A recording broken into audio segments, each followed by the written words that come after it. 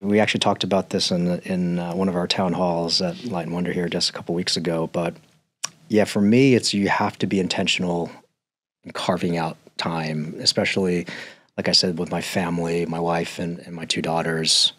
You know, I, I can get kind of wrapped up into the day to day and Yeah. really because it doesn't feel like work to me, right? I I do enjoy it, but you have to i have to be intentional. So you know my my wife keeps me honest. You know my daughters always give me uh try not to curse by the way. I'm, I'm a cursor so but they you know they push me and they you know they they're not afraid to give me feedback that hey dad you know you haven't hung out with us in a while or you know you come sit with me and watch a movie.